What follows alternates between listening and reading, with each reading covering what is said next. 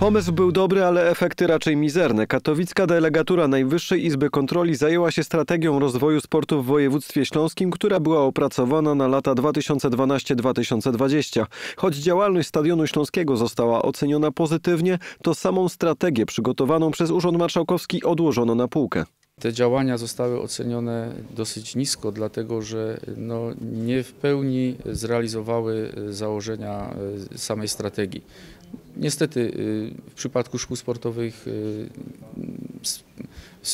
współfinansowanie, dofinansowanie y, polegało tylko na y, współpracy z jedną szkołą mistrzostwa sportowego, a w tym okresie w, na, terenie województwa śląskiego takich szkół mistrzostwa sportowego przewinęło się y, ponad 50. Kontrola wykryła też, że dwa obiekty sportowe, które uzyskały dofinansowanie Urzędu Marszałkowskiego, nie były sprawdzane pod względem technicznym i mogły być niebezpieczne. Jeżeli nie ma tam systematycznych działań przewidzianych i wdrażanych, to w pewnym momencie dochodzimy do takiego stanu technicznego, który zaczyna zagrażać życiu, zdrowiu, zdarzają się wypadki.